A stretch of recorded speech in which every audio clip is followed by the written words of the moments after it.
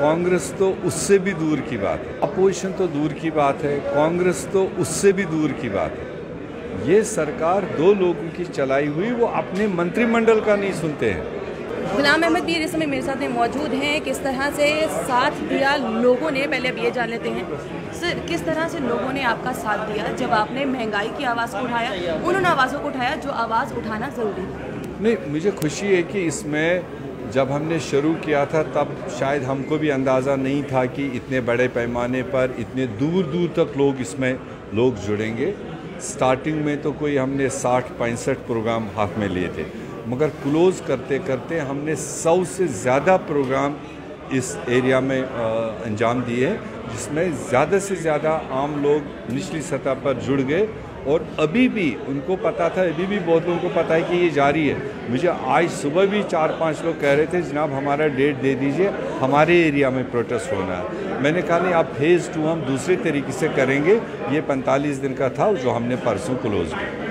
हमने बोला पैंतालीस दिनों का था, पर यहाँ पर सवाल ये है कि आपने सवाल उठाए महँगाई पर। महँगाई में चाहे वो फिर अगर बात की जाए गैस सिलेंडर के लिए हो, पेट्रोल के लिए हो, ना तो पेट्रोल का दाम कम हो पाया, ना सिलेंडर का दाम कम हो पाया, ना ही सब्सिडी आई। मतलब कि कांग्रेस की बात को सुनना नहीं चाहती है अपोजिशन को इतना नहीं है अपोजिशन की आवाज़ इतनी नहीं है कि भाजपा तक पहुँच पाए।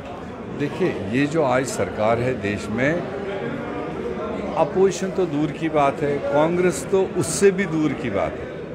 ये सरकार दो लोगों की चलाई हुई, वो अपने मंत्रिमंडल का नहीं सुनते हैं, वो अपने पार्लियामेंटेरियंस का नहीं सुनते हैं, जो उनके अपने ही है। तो हम वो तवक्कु तो नहीं रख रहे थे कि हमारे इस मिशन के बाद वो क्विकली ऑर्डर कर लें। वो पीपल रेस्पॉन्सिव लोग नहीं हैं वहाँ हुकूमत में। तो हम अपना काम अंजाम दे रहे हैं, हम लोगों के खातिर ये सेवा दे रहे हैं ताकि लोग ना नहीं बोल पा रहे हैं एज ए पार्टी हमें उनके बिहार से बोलना चाहिए।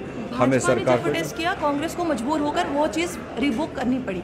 बट क्या कांग्रेस में इतना दम नहीं था कि वो भाजपा से रिवोक करवा लें? अभी उनको नंबर्स का नशा है।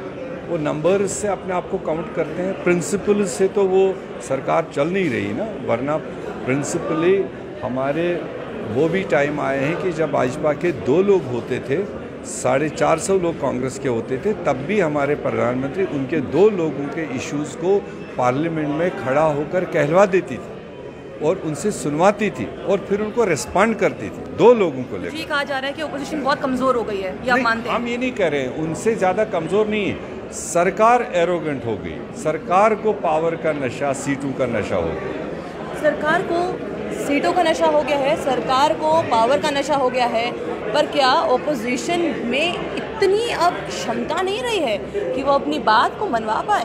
सवाल तो ये था। सवाल ये है कि अब महँगाई की बात को रखने के लिए क्या कांग्रेस को नई रणनीति अपनानी होगी? या फिर जो कहा गया कि दो ही लोग सरकार चला रहे हैं, वो अपने ही भाजपा के लोगों की बात नहीं सुन पा रहे हैं? ये बात सच है? आपको क्या लगता है? कमेंट बॉक्स में कमेंट करना भूलेगा बने रहिए जम्मू परिवर्तन के साथ। मुझे और अभिषेक जी को दीजिए इजाज़त। नमस्कार।